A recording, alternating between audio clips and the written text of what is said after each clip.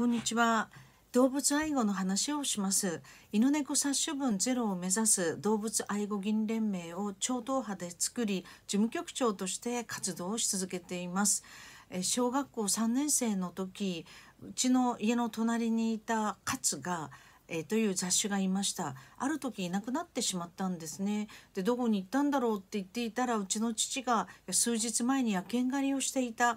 って聞いているから行ってみようと車で出かけました。動物愛護センターに金網にこう捕まっているカツをなんと発見をしました。もう思い詰めた絶望的な表情のカツを初めて見ました。隣のうちの方はアスファルトの上でおしっこしないようにとしつけていたので解放されたカツは草むらにピューッと走っていって長い長いおしっこをしていました。でそこを立ち去る時に白いスピッツとかいろんな動物がそこにいるのを見たんですね。どうなっただろうかなんて本当に思っていました。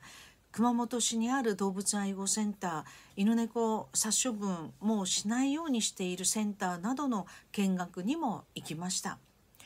で2019年この議員連盟を中心に動物愛護法の改正法の実現をしました。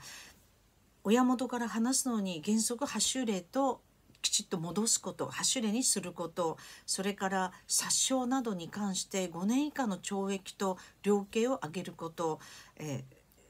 ブリーダーさんやペットショップなどの使用基準に関してきっちり定めをすること。これによって清少例がちゃんとできました、え、この2年半の間浅田美代子さん杉本彩さん弁護士いろんな NGO の皆さんたくさんの皆さんに本当にお世話になり力を合わせて実現をしました。課題山積ですがこれからの法律改正に向かって頑張りますし動物愛護を目指して頑張っていきます。